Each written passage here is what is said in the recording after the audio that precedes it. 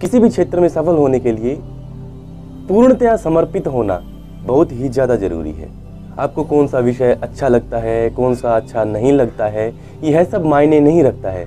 मायने यह रखता है कि हम सच्ची श्रद्धा के साथ, पूर्णतया समर्पण के साथ उस कार्य को करते हैं और आगे चलकर अपना लक्ष्य प्राप्त करते हैं। किसी कार्य के प्रति समर्पण का अर्थ यह है कि आपको उस काम के अलावा और किसी चीज़ का ध्यान ही नहीं है, इसका अर्थ यह है कि आप उस कार्य करने में, उस काम को करने में खुद को इतना अर्पित कर चुके हैं कि जब तक वह कार्य समाप्त ना हो जाए, तब तक आप उसे पूरा करने में लगे ही रहेंगे। इस संदर्भ में ऋषि धौम्य और उसके शिष्य अरुणी की कथा आती है। इस कथा के अनुसार ऋषि धौम्य के आश्रम में अरुणी नाम का एक शिष्य रहता था, जो अन्य शिष्यों के साथ वहाँ पर विद्या ग्रहण करता था।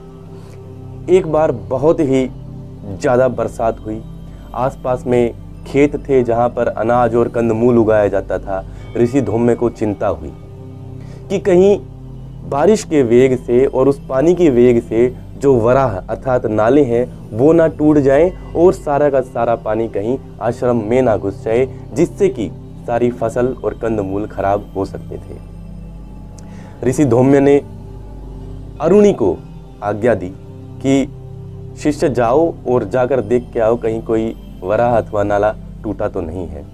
अरुणी कोई कुशाग्र बुद्धि शिष्य तो नहीं था, लेकिन वह एक परम निष्ठावान और आज्ञाकारी शिष्य था। अरुणी खेतों के निरीक्षण के लिए जा पहुँचा और वहाँ पर जाकर उसने देखा कि एक नाला टूटा हुआ है और पानी पूरे वेग के साथ खेतों में घुसता चला जा रहा है।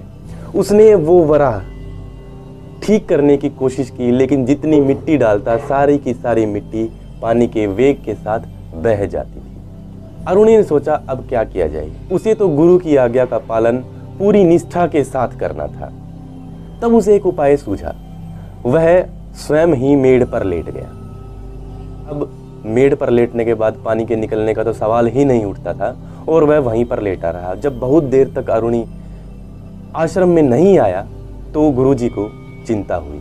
उन्होंने कुछ और शिष्यों के साथ लेकर खेत में जाने का निश्चय किया। वहाँ पर जाकर ऋषि धूम्य ने आवाज़ लगाई कि, अरुणी पुत्र, तुम कहाँ हो? तब कहीं से एक आवाज़ आई कि, गुरुजी, मैं यहाँ लेटा हुआ हूँ। और तब भी अरुणी वहाँ से नहीं उठा। जब गुरुजी और अन्य शिष्यों ने जाकर देखा तो अरुणी पूरी तरह से पानी और मिट्टी में तरबतर हुआ, वहीं पर लेटा हुआ था। गुरुजी बोले, अरुणी, तुम ये क्या कर रहे हो? तब अरुणी ने सारे हालात बताए। गुरुजी ने अरुणी को उठने की आज्ञा दी और गद गद होकर अपने सीने से लगा लिया। गुरु और शिष्य दोनों की आँखों से अश्रुधारा बह निकली। यही होती है सच्ची श्रद्धा, यही होती है सच्ची निष्ठा यही होता है पूर्ण समर्पण।